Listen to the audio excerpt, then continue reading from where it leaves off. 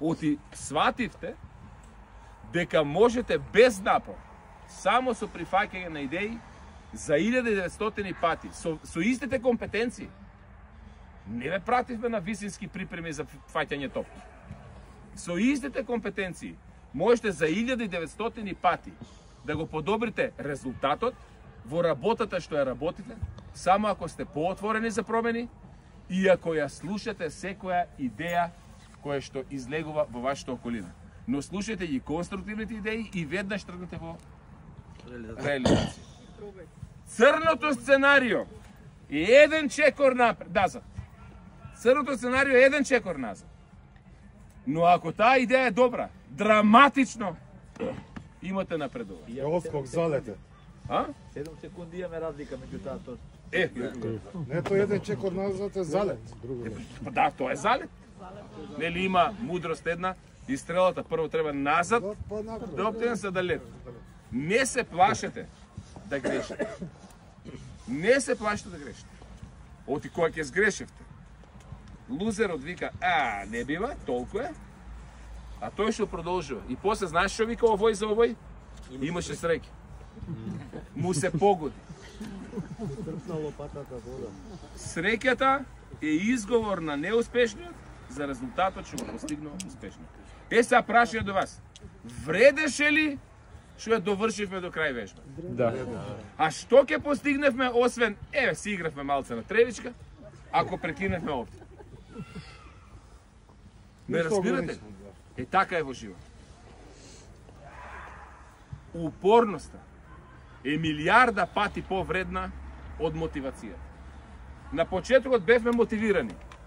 Ама ако имаш само мотивација, а не знаеш зошто, прашај на моменте кога ќе ти угасне мотивација. И крај. Но ако си упорен затоа што знам зошто, милион не, милион одбивања ништо не ми значи. Знам зошто.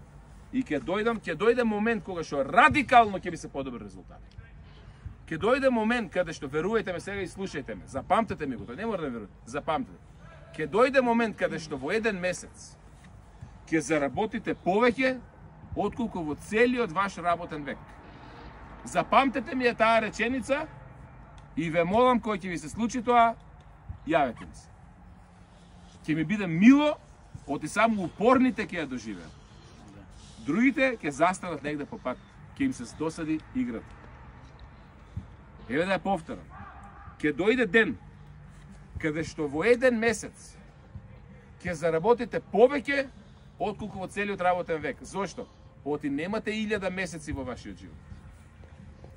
А гледате дека и илјада пати може да порасне. Ај не тргнуваме од овде, 1900, ама од овде, илјада пати. И за 500 пати да е, во тој месец заработувате повеќе од цел живот. Но што не приметуваме? Дека следниот месец ќе биде за проценти различен нагоре или надолу од предходниот месец. И така се ствара компаунд ефект.